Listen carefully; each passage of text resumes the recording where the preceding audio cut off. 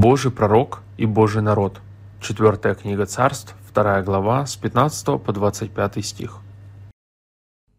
«И увидели его сыны пророков, которые в Иерихоне издали, и сказали, «А почил дух Илии на Елисея». И пошли навстречу ему, и поклонились ему до земли. И сказали ему, «Вот есть у нас рабов твоих, человек пятьдесят, люди сильные. Пусть бы они пошли и поискали господина твоего, может быть, унес его дух Господень и поверг его на одной из гор или на одной из долин? Он же сказал, не посылайте.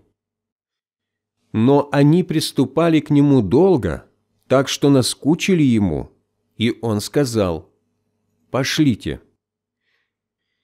И послали пятьдесят человек, и искали три дня, и не нашли его, и возвратились к нему между тем, как он оставался в Иерихоне, и сказал им, «Не говорил ли я вам, не ходите?» И сказали жители того города Елисею, «Вот положение этого города хорошо, как видит господин мой, но вода не хороша, и земля бесплодна». И сказал он, «Дайте мне новую чашу и положите туда соли». И дали ему. И вышел он к истоку воды и бросил туда соли и сказал, «Так говорит Господь, я сделал воду сию здоровою, не будет от нее впредь ни смерти, ни бесплодия». И вода стала здоровою до сего дня, по слову Елисея, которое он сказал. И пошел он оттуда в Вифиль. Когда он шел дорогою, малые дети вышли из города и насмехались над ним и говорили ему «Иди, плешивый, иди, плешивый». Он оглянулся и увидел их, и проклял их именем Господним. И вышли две медведицы из леса, и растерзали из них сорок два ребенка. Отсюда пошел он на гору Кормил, а оттуда возвратился в Самарию. Размышление, часть первая. Напрасные усилия. Четвертая книга царств, вторая глава, с 15 по 18 стих. Сколько времени мы теряем, пытаясь бороться своими силами и забывая доверять Богу. Сыны пророков не верят, что Бог забрал Илью.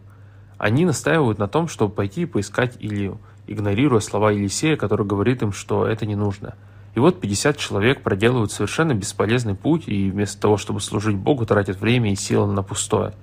Когда мы преследуем цели, противоречащие Божьей воле, мы точно так же напрасно растрачиваем себя – все наши усилия, даже самые успешные, можно считать потерей, если они не направлены на исполнение Божьей воли. Давайте же вместо того, чтобы упрямо делать свое, посвятим свои силы и время той работе, которую нам назначил Бог. Применение. На что вы тратите большую часть своего времени и сил?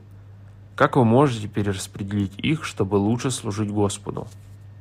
Размышление, часть вторая. Забота и уважение.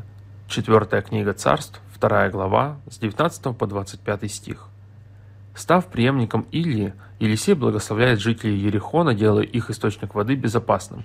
При помощи небольшой чаши соли он очищает его, чтобы люди больше не болели и земля стала плодородной. Через это Бог еще раз являет заботу о своих детях. Затем Елисей идет в Вифиль, и по дороге мальчишки начинают насмехаться над ним, потому что он лысый.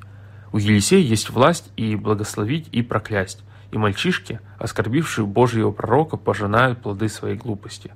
Это напоминает нам, что нельзя хулить Бога и Его народ. Мы должны быть инструментом благословения и любви. Применение. Случалось ли вам наблюдать неприятные последствия неуважения и бесчестия? Как вы можете стать инструментом любви и благословения Бога для окружающих? Молитва. Отец Небесный, благодарю Тебя за то, что через меня Ты желаешь благословлять свой народ.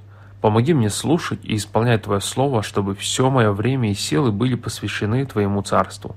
Во имя Иисуса Христа я молюсь. Аминь. Мир Божий, дорогие друзья! У нас для вас прекрасные новости. Журнал «Живая жизнь» запустил приложение для вашего телефона.